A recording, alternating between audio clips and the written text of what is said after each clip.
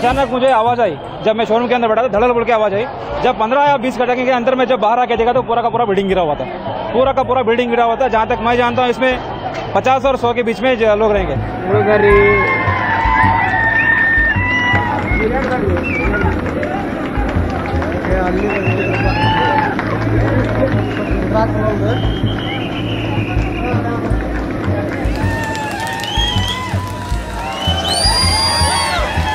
Treatment is going on in Ayushman Bharat and uh, this our uh, Karnataka scheme.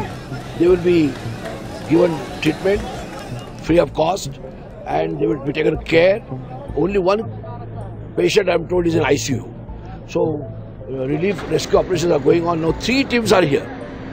Two teams have come from Bangalore. One is SDRF.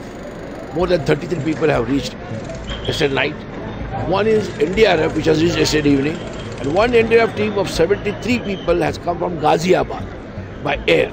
So all they are in the rescue operations and rescue operations will continue till every body is found, either alive or otherwise. We- I pay God, let everybody be alive.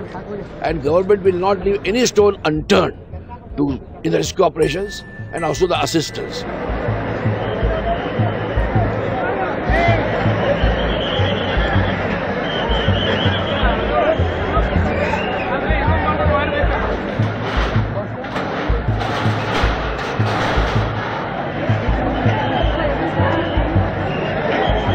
Inquiry will be ordered with experts in that, with regard whether the approvals were right, whether the structural designs were right, what is the cause of this accident, and after that, I think I'll be able to tell you what is the reason.